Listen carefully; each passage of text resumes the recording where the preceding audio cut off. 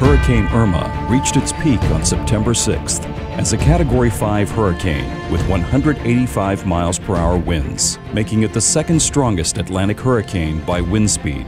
Irma sustained these winds for 37 hours, becoming the only tropical cyclone worldwide to have held this wind speed for this length of time. Governor Rick Scott declared a state of emergency for Florida. Schools and colleges were closed in 44 of the state's 67 counties. Mandatory evacuation orders were in place for the Florida Keys. The mayor of Fort Lauderdale ordered mandatory evacuations for all residents living east of U.S. Highway 1. The city of Tampa declared a local state of emergency. By the evening of September 8th, hundreds of thousands of Floridians had evacuated, making it the largest evacuation in the state's history. On September 10th at 9:10 a.m., Hurricane Irma made landfall on Cudjoe Key in the Florida Keys as a Category 4 hurricane with sustained winds of 130 miles per hour. By that afternoon, Irma had created a 10-foot storm surge. According to state officials, by September 12th, almost 4.4 million homes and businesses in Florida were without power. FEMA's initial estimate indicated that 25% of the buildings in the Florida Keys were destroyed and 65% were significantly damaged.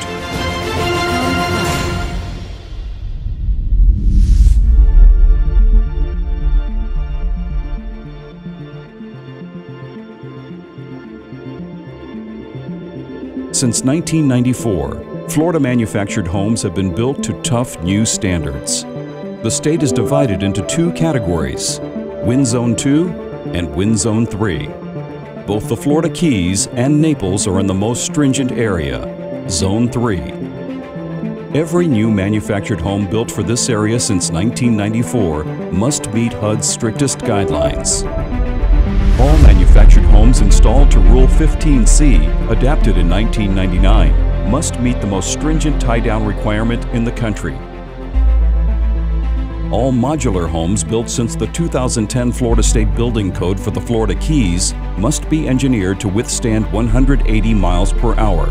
Are these codes strong enough? Let's hear from some Jacobsen home residents whose homes endured Hurricane Irma. My name is Dave Coldy. Is my wife, Mary Jo. Uh, we fell in love with the Jacobsen homes because so many people in the park have them, and uh, they are they're attractive, they're functional, and they, they seem to hold up very well. Hi, I'm Lynn Funk, and my husband Jack and I live in Mariners Cove Manufactured Home Community. And we bought in here, oh, probably in 2000, and we wanted to have a good, sturdy home. My name is Grace Stringer, and uh, I've lived in this particular lovely house for two years now, and I've been very pleased with it. I find so many nice little touches in it that Jacobsens have gone ahead and done. We're the Claffertys. We're from Maryland. This is Chris and I'm Scott. And we purchased this manufactured home through from Jacobsen and we are thoroughly enjoyed with the, the neighborhood, the community, and the product.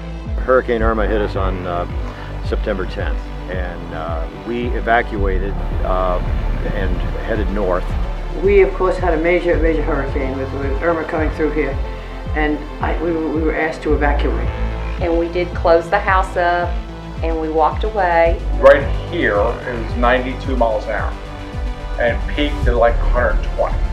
We waited until Saturday to get back down here and we were amazed at the lack of damage to the house. I, I felt good about this house though. When I came back, there it was. Yeah, it was category four it hit here and I had minimal, I mean $19 worth of repairs and that was to the fence, not to the home. We didn't have any damage to our home. The manufactured home was flawless. And it was it was such a joy and, and a thankful blessing to come home and see everything intact. And when I came back I was very pleased to find everything was intact. There wasn't even a water stain anywhere in the house. The house is in perfect shape. And we're forever grateful that we chose Jacobsen.